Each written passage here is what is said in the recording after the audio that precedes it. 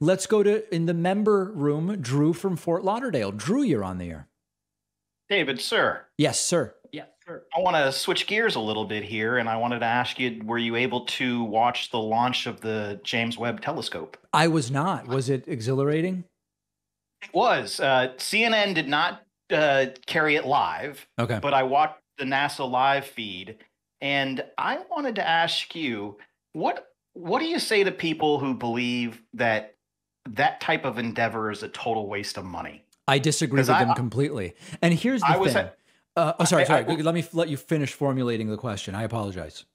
Yeah, no problem. Um, see, I, I have three young nephews, and I've always tried to instill a sense of curiosity in them. Bought them telescopes, take them through nature walks, you know, to you know uh, get them out of the house and not be playing video games and things like that. And then I have family members who are at the dinner table on Christmas when I'm telling them about this, you know, this amazing thing that's going on, and they're at the table saying it's a complete waste of money. It's a you know, it's a total waste of time how do you how do you feel how do you deal with that? Very often these folks will say you know if we put the money we put into the space thing into hunger or housing or healthcare or whatever here's what we could we could pay for i think that that's really a false notion because we never put all of our money into anything. And and so starting from the idea that here's all the stuff we could cancel and put it here we that's not how societies operate. People have different interests and you're not going to convince the people doing the space stuff to put all of the money into hunger because they're interested in space stuff you know for better or for worse. That's number 1 number 2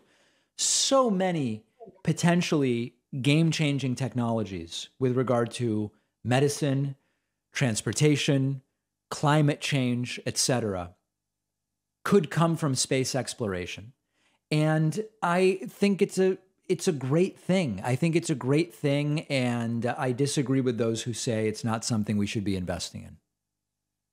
Yeah, I mean, I asked them. I'm like, "What are you? Are you okay with spending tens of billions of dollars on a useless wall, or, or you know, seven hundred billion dollars on defense?" And they're of course like, "Oh, well, yeah, we need those things." Right.